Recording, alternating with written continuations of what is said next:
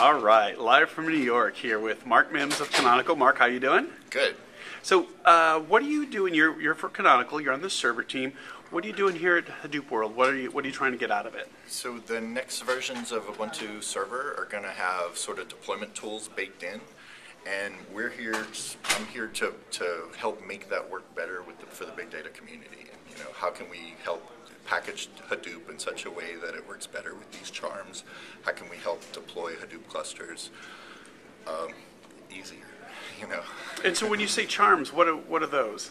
So charms are sort of like deployment recipes using these configuration tools. So, th- so this this tool is about service orchestration. It's called Juju, and they're Juju charms to deploy particular services within your infrastructure.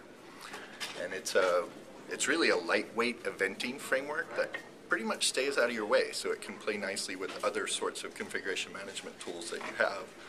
Um, the goal is really just to get you know, to make it easy to deploy and relate services throughout the lifecycle of your infrastructure. Um, the magic happens actually in the relations. So we've taken when, when it comes down to configuring a particular service, there's sort of the installation specific configuration and the relation specific configuration. And breaking it into those two components allows you to handle things like horizontal scalability a whole lot cleaner than in other other approaches to that that we've tried in the past. Um, so, so yeah, it's a beautiful story to take and spin up an entire stack of uh, 20 or 30 Hadoop nodes pretty quickly. Um, it works cloud or in bare metal or, um, various different solutions for that, including local. And so, what did uh, Juju began life as something else, right? it did. It used to be called Ensemble, Yep. um, and the name was changed fairly recently to Juju.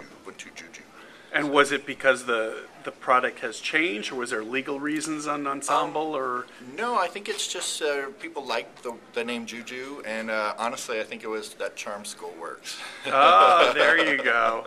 so we're trying to get community events where people come out to learn how to write their own charms for things that they've been interested in.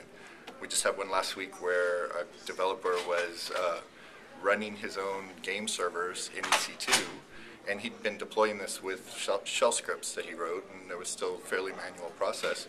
And within a couple days of uh, working together on it, he's got Juju charms now to deploy his game servers um, in a really nice way. I mean, it's very configurable, very reusable. So.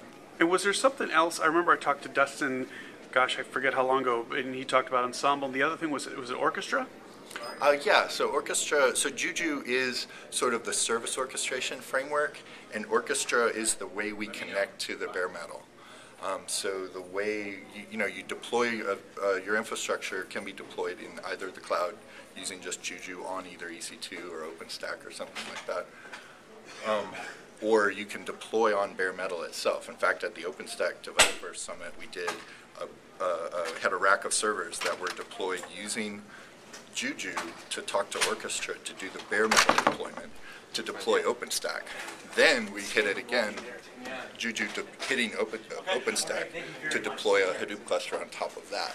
So we did the, the, the meta thing.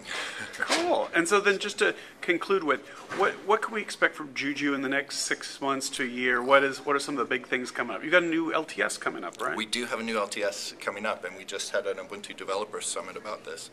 And um, so the biggest things we're working with are just stability and production readiness, high availability, you know, things that what do, what do we need to get done to make Juju available in in production environment and make Juju really work in a production environment.